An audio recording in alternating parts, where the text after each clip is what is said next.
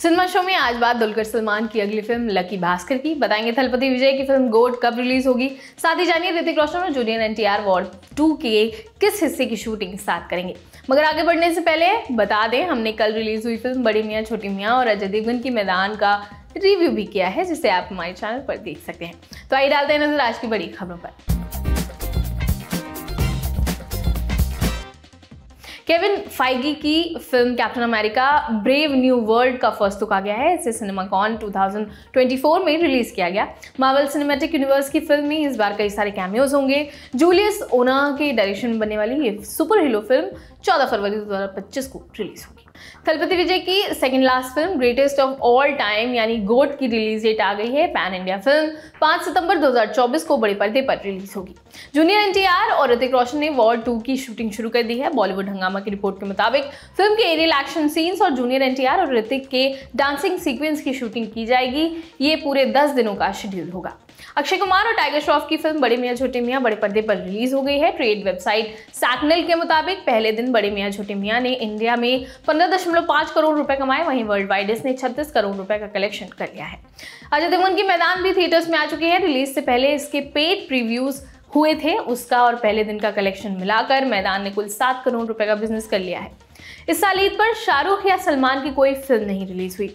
इस साल अक्षय और अजय की बड़े मियाँ, छोटे मियाँ और मैदान रिलीज़ हुई है। मगर कमाई के मामले में दोनों ही फ़िल्में शाहरुख, सलमान का रिकॉर्ड नहीं तोड़ पाई हैं।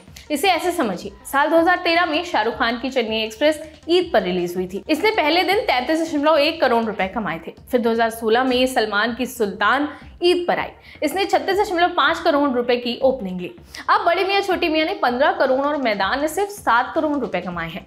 इन दोनों को जोड़ भी दिया जाए तो भी सिर्फ़ बाईस करोड़ ही कलेक्ट होते हैं, जो शाहरुख सलमान की फ़िल्मों के कलेक्शन से बहुत कम है। अल्लू अर्जुन की फ़िल्म पुष्पा टू का बस बनना शुरू हो चुका है। न्यूज़ एटीन की रिपोर्ट के मुताबिक मेकर्स ने फ़िल्म में छह मिनट के एक सीन के लिए करीब साठ करोड़ रुपए लगा डाले। इस शूट को पूरा करने में करीब 30 दिन लगे थे।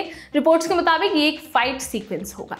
पुष्पा टू के म्यूज़िक और डिजिटल राइट्स को लेकर भी अपडेट्स आए हैं। One two three Telugu dot com की रिपोर्ट के मुताबिक पुष्पा टू के म्यूज़िक राइट्स टी सीरीज़ ने खरीदे हैं। इसके सारे भाषाओं के म्यूज़िक को टी सीरीज़ ने साठ करोड़ रुपए में खरीदा है। वहीं इसके डिजिटल राइट्स को नेटफ्लिक्स ने सौ करोड़ में खरीदा है। अजय देवगन की फ़िल्म सिंघम अगेन और अल्लू अर्जुन की फ़िल्म पुष्पा टू का क्लैश होने वाला था। दोनों ही इस साल अगस्त में रिलीज़ होने जा रही थी।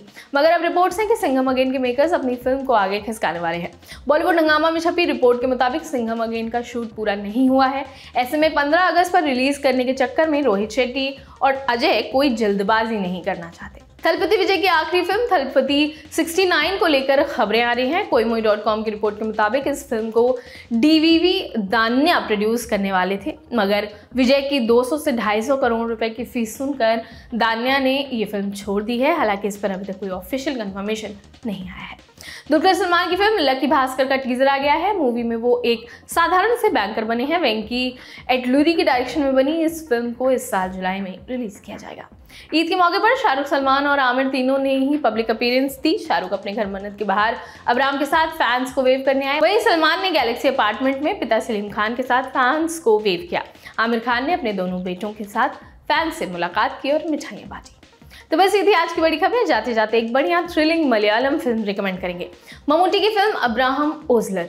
शहर में लगातार मर्डर्स हो रहे हैं। सेम पैटर्न के साथ जाँच पड़ताल चल रही है, मगर कुछ भी हाथ नहीं लग रहा है। उधर इन्वेस्टिगेटिव ऑफिसर के साथ भी बहुत अजीब गरीब चीज़ें हो रही है। कौन कर रहा है मर्डर्स क्या है उसका इरादा?